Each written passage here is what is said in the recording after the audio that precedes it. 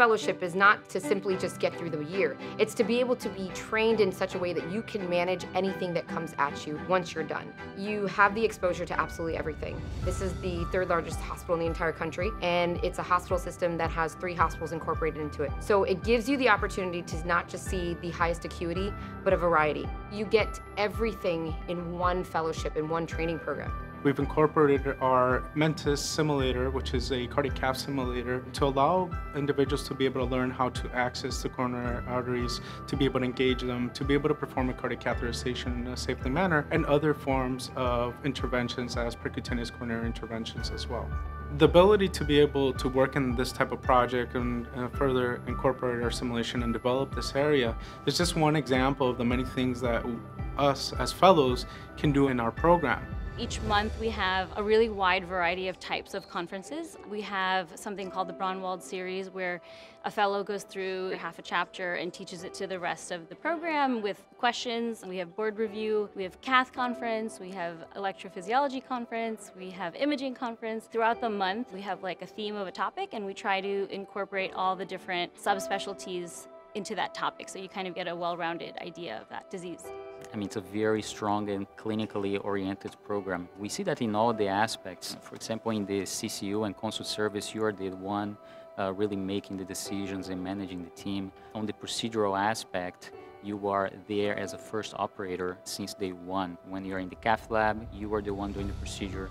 Same thing in the Echo Lab, you're the one doing the TEEs, and since very early, since first year. So you really have the opportunity to have a very, very good, very strong clinical exposure, and you really finish fellowship prepared to go into practice with really uh, good and strong clinical training.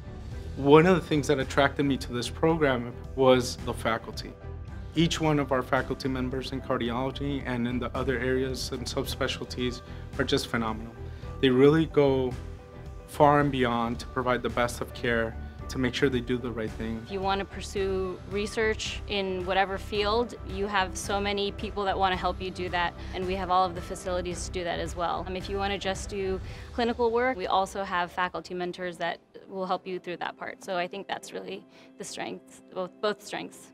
Being as prestigious as this hospital is, you would think that you wouldn't have as much access to these highly experienced elite physicians that run the program, but they're so down to earth and always there and so invested that it makes you feel like you're part of a family. As a cardiology fellow, it's a very stressful time. Uh, your responsibilities suddenly increase, and the comfort of being able to call the electrophysiology fellows, the interventional fellows, truly at any time of the night is something that made my transition very easy as a general fellow.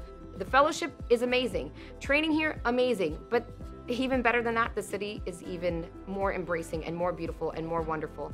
Endless things to do, endless times to have fun.